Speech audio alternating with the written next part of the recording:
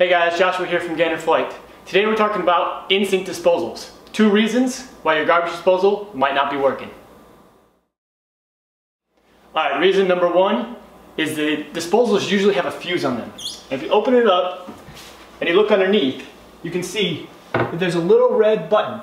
You go ahead and press that button and it will reset the fuse in the electric motor. For whatever reason, if it was overloaded or there's a power surge, however that fuse could have gotten tripped, maybe it tripped out, and all you gotta do is press that reset button and reset the electric motor inside the disposal.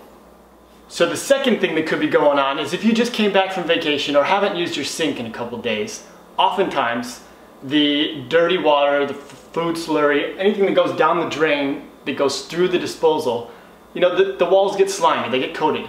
And if you let that dry out, oftentimes it can provide enough tension to bind up the electric motor and there's not enough torque to break it loose. Um, I've had this happen. We came home from a vacation, a two week vacation. The sink had totally dried out. Turned the disposal on and you could hear it. You could hear the electric motor turning on, but nothing was spinning. Now, my disposal is currently working, but it sounds similar to this.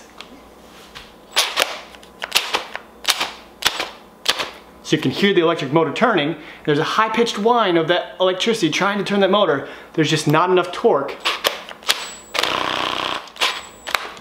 to turn the motor over. I want to show you how to fix that. So the first thing you need to do is unplug the disposal from the wall. You don't want any power running to this the whole time you're doing this activity. And then what you're gonna need to do is grab a drill.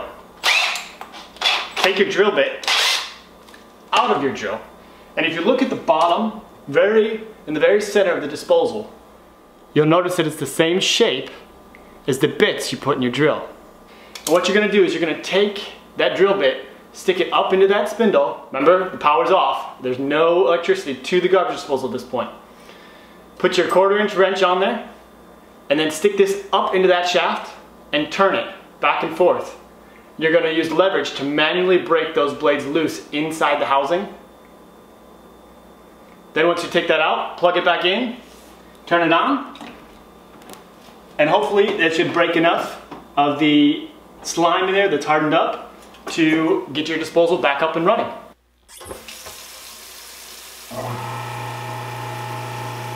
So in all reality, you really shouldn't be putting any food down your drain. It's not good for the pipes, it's not good for septic systems, it's not good for the waste management.